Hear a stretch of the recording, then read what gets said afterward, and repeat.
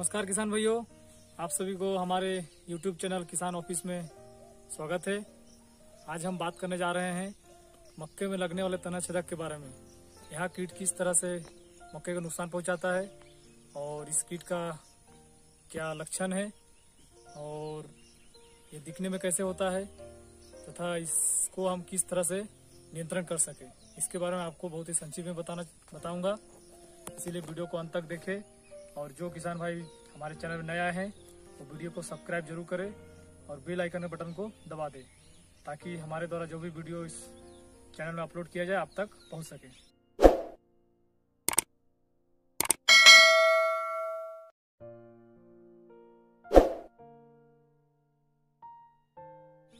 आइए किसान भाई, हम किसान भाई के आए हुए हैं। देख पा रहे हैं आप, चारों ओर मक्का लगा हुआ है। इनकी हरा भरा है, परंतु इनके द्वारा बताया गया था, इनके खेत में कीट का प्रकोप चालू हो गया है। उसी को देखने होते हम इनके खेत में आए हुए हैं और आने के बाद निगरानी करने से हमको पता चला है कीट का प्रकोप सच में हो चुका आप देख पा रहे देखिए इसमें इसमें लग चुका है। तो आप लोगों देख पाया कि कीट का प्रकोप इसमें लग चुका है। अब सबसे पहले मैं इस कीट का जो लक्षण है, दिखने में कैसे होता है किस तरह से ये प्रकोप करता है पौधे के ऊपर, उसके बारे में आपको सब चीज़ बताऊँगा। यहाँ जो कीट होता है, इसको हम हिंदी में बोलते हैं मक्के का तना छेदक और इंग्लिश में बोलते हैं मेज स्टेम बोरर, और इसका जो वैज्ञानिक नेम है, वैज्ञानिक नाम होता है, उसको बोलते हैं चिलोपाटिलस। यह जो इंसेक्ट होता है, इसका मादा मादा दिखने में इसका सलब होता है, इसका मादा, जो दिखने में बहुत गंदा दिखता है, और भूरा रंग का होता है।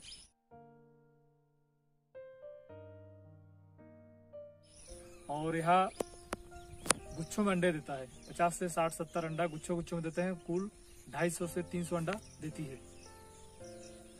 इसके बाद ये जो अंडा होता है, ये दो से तीन दिन में हैच हो जाता है, फूट जाता है। उसमें से छोटे छोटे एकदम सूक्ष्म कैटरपिलर निकलता है। निकलने के बाद वो क्या करता है? पतियों को खुरचता है। जैसे आप देख पा रहे हैं देखिए खुरचा हुआ है। इस तरह से खुरच खुरच के खाता है और धीरे धीरे वो बढ़ता है। धीरे धीरे बढ़ते बढ़ते क्या करता है? स्टेम को ही होल कर देता है, छेद कर देता है। इसीलिए इसको हम बोलते हैं तना छेदक और यहाँ मक्के अंकुरण होने के बाद से लेके मक्का में भुट्टा और फूल आने तक लगातार इसमें आक्रमण करता है और पौधों को नुकसान पहुंचाता है।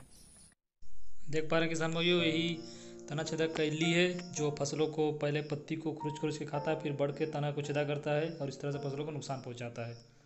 इसका पहचान कर लीजिए और यही इल्ली बढ़ के पीपा में बदल जाता है और पीपा से फिर सलब निकलता है, जिसको मॉथ्स बोलते हैं, और वहाँ से मादा फिर से अंडे देती है। अभी वर्तमान में मक्का में अमेरिकन फालवर्म का भी आक्रमण देखने को मिल रहा है कहीं कहीं लेकिन ये अमेरिकन फालवर्म नहीं है, मेज वेस्टेम्बरर है।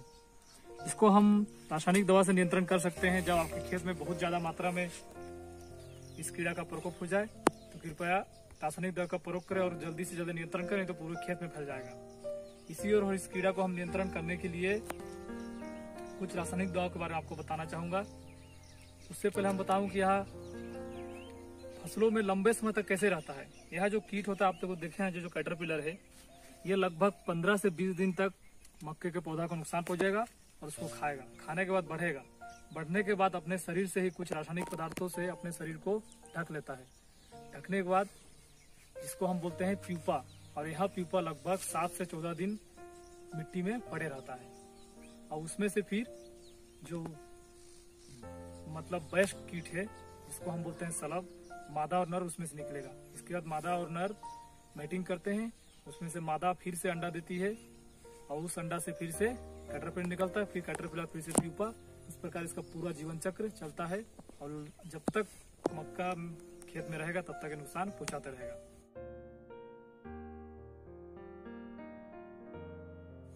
आइए किसान भाई आप सभी को हम बताऊँगा इसमें किन किन दवा का प्रयोग करके इसको नियंत्रण कर सके। ये जो दवा हम लोग आपको बताने जाएँगे, दवा हमारे कृषि वैज्ञानिक और विभिन्न प्रकार के पुस्तकों में कृषि वैज्ञानिकों द्वारा लिखा गया पुस्तक है, जिससे हम लोगों ने लिया है और कृषि वैज्ञानिक द्वारा संशोधित किया गया है। उन्हीं दवा के बारे में बताऊँगा। सबसे पहले हम बताऊँगा कि ये एक दवा है। इसमें जो केमिकल है, यह है क्लोरपाइरिफास प्लस साइपरमेथ्रिन आपको इसको नोट करना है। क्लोरपाइरिफास पचास प्रतिशत एवं साइपरमेथ्रिन पाँच प्रतिशत। भले कंपनी, कोई भी कंपनी हो। इसमें देख पा रहे हैं, जो दवा है, ये है हमला 550 आपको ज़रूरी नहीं कि इसी दवा को लेना है, लेकिन केमिकल ज़रूर देख लीजिएगा क्लोरपारिफस प्लस पाँच प्रतिशत साइपरमेथ्रिन इस दवा को आपको 40 एम प्रति टंकी मिला के खेत में स्प्रे करना है। और स्प्रे करने से पहले किसान अपने आप को सुरक्षित रखें और सावधान होकर स्प्रे करें। इससे संबंधित वीडियो मैं पहले अपलोड कर चुका हूँ, इस वीडियो को देखें और हमारे फ़सलों में स्प्रे करने से पहले कुछ सावधानी को बरतें। इसके बाद हम दूसरा दवा बताएँगे जिसमें दिया हुआ है डेल्टा मिथ्रिन। ये जो है, ये डेसिस नाम से आता है दवा। आप जाके देखेंगे, डेल्टा मिथ्रिन है क्या इसमें? इसको देखेंगे और इसका स्प्रे पानी में मिलाकर स्प्रे करना है। इसका इसका स्प्रे भी हम 40 से 50 एम प्रति टंकी हिसाब से करना है। इसके बाद किसान भाई, हम बताएँगे, ये आता है प्रोपेनोफास 40 प्रतिशत प्लस साइपरमेथ्रिन चार प्रतिशत। ये कंपनी में मार्केट में आपको प्रोफेक्स नाम से मिल जाएगा। और अलग अलग कंपनी अलग अलग नाम से दवा बनाती है। आपको कंपनी नहीं, नहीं देखना है आपको देखना है प्रोपेनोफास 40 प्रतिशत प्लस साइपरमेथ्रिन चार प्रतिशत। आपको देखना है रासायनिक नाम भले कंपनी कोई भी हो। इसके बाद किसान भाई देखिए कृषि विभाग से दिया हुआ किसानों को दवा था। हमने किसान भाई से लेकर आए हैं। इसका नाम है कोम्बी 505 इसमें लिखा है क्लोरोपाइरिफस 50 प्रतिशत प्लस साइपरमेथ्रिन। इसको भी 40 एम प्रति टन के हिसाब से मिला के स्प्रे करना है। इसके बाद एक दवा और है। जो कि इमेक्टिन बेंजोएट पाँच प्रतिशत सोलुबल ग्रेन है। इसको हमको 10 ग्राम माप के एक टंकी में मिलाकर स्प्रे करना है। इसके बाद आपको एक दवा और मिलेगा। लेमडो साइलोहेत्रिन पाँच प्रतिशत। इसको आपको ये सौ मिल का है। इसमें लगभग दो टंकी हमको स्प्रे टंकी स्प्रे करने के लिए बनाना है। मतलब पचास एम एक टंकी में। इसके बाद किसान भाइयों, एक दो और है जो कि महँगा पड़ता है। इसमें भी लेमडा साइलोत्रिन है, उसके साथ क्लोरन ट्रियोप्रोल दिया हुआ है। दोनों का कॉम्बिनेशन से दवा तैयार किया है कंपनी द्वारा। आप इसको चेक कर लीजिएगा। मैं जिन जिन रासायनिक नाम बताया हूँ दवाओं का, उसको आप नोट कर लीजिएगा। चाहे मेरे वीडियो को डिस्क्रिप्शन में रहेगा, उसके अनुसार आप मार्केट में जाके दवा को खरीद सकते हैं। और फिर भी किसान भाई, अगर आपको कुछ समझ में नहीं आया हो और कोई सवाल है तो हमारे कमेंट बॉक्स में जाके सवाल कर सकते हैं। और अगर वीडियो पसंद आए तो लाइक ज़रूर कीजिएगा।